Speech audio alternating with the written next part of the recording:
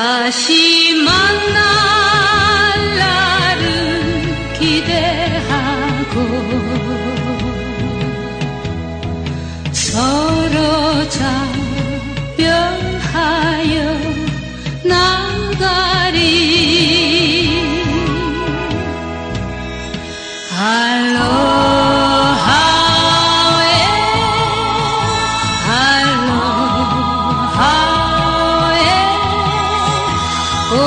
꽃 피는 시절에 다시 만